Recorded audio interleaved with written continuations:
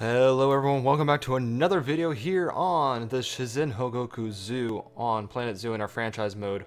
Welcome back. Today we are building a food court for our people.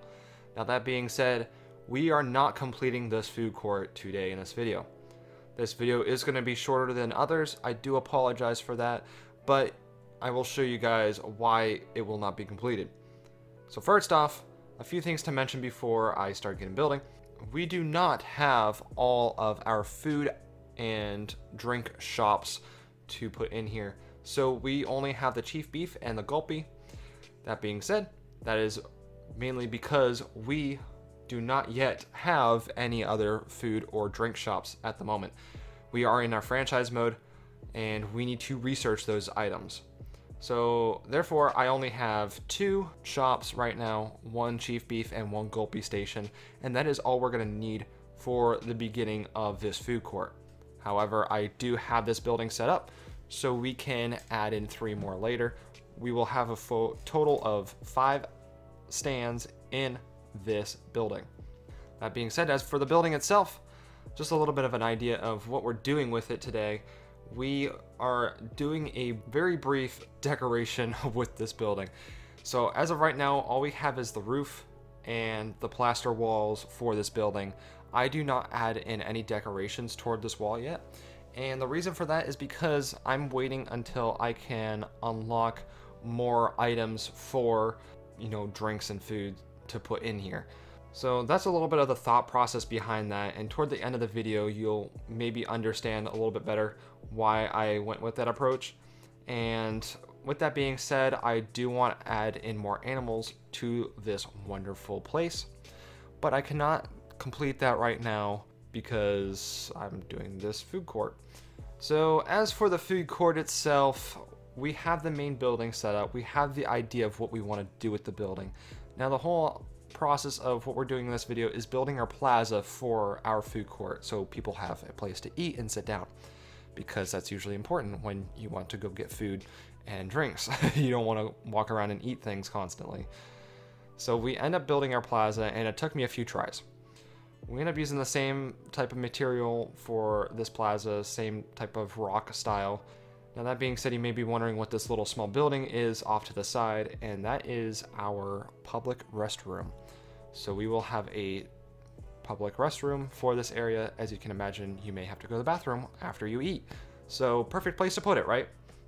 Unlike the Katahdin Zoo, we actually did a little bit of a better job giving this area a little bit more space. And we also have the toilets nearby, so therefore if someone has a bean burrito and has issues after, they can walk over and hopefully take care of that issue. Anyhow, there is a lot of space to deal with this area toward the front of the park. I still have more work to do toward the front of the park. However, I'm going to do some work off video, but I want to show you the thought process for some of these areas so you can get a little bit of an idea of what you can do in your own zoo. That's if you play Planet Zoo. If you don't play Planet Zoo, maybe you will find this interesting. Who knows? But as for these benches here that I throw down by our rocks here, we end up using, once again, our awesome Asian rocks here, East Asia rocks, that are obviously man-made, but it blends in with the natural feel of the area a little bit. So we actually end up sinking them down into the benches, and the reason why we do that is because people will actually sit down on the benches since we have the rocks that masks the benches, then it's very easy for you know it to look like these people are just sitting down on rocks. Sorry, that was really hard to say for some reason. But as for the bathrooms here, we did have a little bit of an issue. I wanted to place down a little bit of water nearby, and the reason why I want that water there is because we don't want just plants to fill up all these areas. I wanted to have a little bit of a man-made structure near this area for, you know, a little bit of a body of the water. I think it worked out really well to say the very least. I had to remove the water so I could actually add in the restrooms. But uh, after I figured out that, I ended up placing in the rocks to give this area a little bit more of a lively feel. Now that being said, your eye is not going to draw into this area mainly because there's really nothing that special about it. But let's say if your eye did draw over to this area and you kind of took a look at it and you're like, hmm, that's interesting. It doesn't look awful either which is the intention in this case. with these little stones on the back. I have it blend in with our building right behind it. And the main reason why we do that is because one, the water needs to come from somewhere. So we're gonna use that as like a little waterfall area. And by doing that, it makes it seem like our water is being pumped into the pump station, wherever that may be. And it will filter out and in through that area. So that is the thought process behind that. And along with that East Asia's stone, we do have just regular rocks that do blend in with that as well. It would look very weird if the rocks did blend straight into the bathrooms. So that's why we approached this this way. Now, I do not complete this little area because, to be honest, I was I'm doing so much recording right now and trying to pre-record a lot. If you guys don't know, I'm going on vacation. So I'm recording like 1.25 videos a day and trying to complete just as many. So that is why I kind of didn't finish this area, but in the cinematics you'll get a little bit of a better idea of what else I did to complete these areas. But that being said, we do have these little grass patches that we need to fill in, and what we're going to do is we're going to throw in some trees, some flowers and whatnot to finish it off. Unlike most areas, I've been using some sort of barrier that includes uh, usually something that is the fence height of most areas, such as, you know, last video we used that rock to kind of block off the trees and the gardens and stuff like that. So instead of doing that, we ended up using our wood, once again, like we did in the Katahdin Zoo. We may have done it a little bit overboard in the Katahdin Zoo, and there's a lot of issues with that zoo. Oh my god. I'm going to do a future video about that, by the way, and, you know, all the things that we're going to have to fix about it and whatnot. I'm wondering if I need to start over, to be completely honest. I would hate to do that, but I may have to. Anyhow, I'm getting a little bit ahead of myself. We use this basic East Asia wood theme going on here, and we just use that as like a curb for these little areas.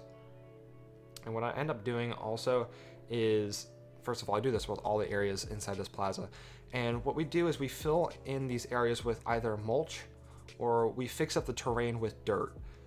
And that gives it not a green feel, but it ends up putting in that dirt color and that dirt texture, which works out very well for the concepts that we're going with. So we end up throwing in some nice natural shading. So we end up using things from the temperate and tropical biomes. And with that being said, they are all out of Asia, so they are all, you know, home to their natural continent. So they're not anywhere that they shouldn't be. I don't remember what terminology that is supposed to be used, but anyhow, I do a few different things with this, mostly trees and mostly a few flowers. Nothing too much, a little color, but hopefully not too much. A few plants, but hopefully not too much. And the reason why I do that is because it is very important to make sure that people don't find this as a specific garden type. This is just filler.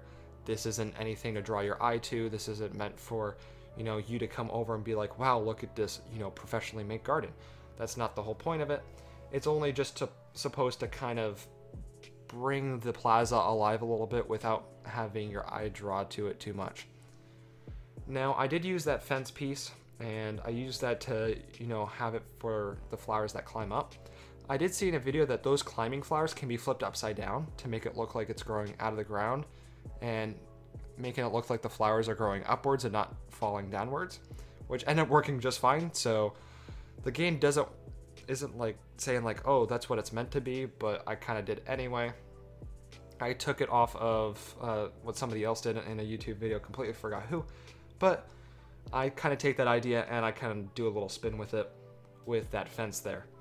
And aside from that, I do fix up the area a little bit, nothing too special.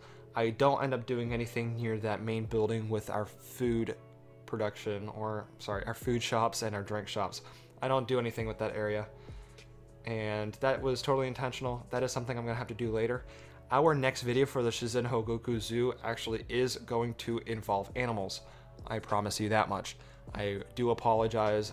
We have not been doing anything along the lines of that lately. So that is really all I have to talk about this area. The last thing I do want to mention though before doing our outro is that we end up do throwing in a lot of East Asia bins and picnic tables to fill in this area, and it really brings out the color and really does disrupt that path that is very consistent throughout the area. We do make sure it's not all the stone that you're walking through. You need something in the middle of that stone to break it up, and the trees and everything is not enough. I actually end up doing throwing an umbrella on top of one of them because a lot of the picnic tables are covered by the trees, except for like this one picnic table. So I end up throwing an umbrella on it. And as for how many picnic tables we have there, they are not enough. There are already not enough picnic tables there. And that being said, I do need to find another area to add in some more seating. And I may actually have to move over our main building for where people can get food and drinks. So that is also another reason why I didn't go ahead and put in more food and drinks inside that building and completing the design of the building itself because I had a feeling we may have to move it. So therefore, I'm going to be going through my own testing phase. Probably not going to show you guys too much of it, maybe show you a little bit, but we're going to go through a testing phase to see how this area handles with all the pedestrian traffic flow.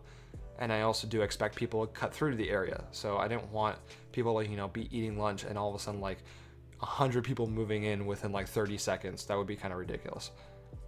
But that's all I have to talk about this area, so I do appreciate you guys for watching. If you did enjoy this video, please give it a thumbs up. Please subscribe if you haven't already. And let's say if you do join our Discord and subscribe at the same time, you can let me know and I will give you a free shout out in the next few videos. Be sure to take advantage of that. I will be happy to do that for you.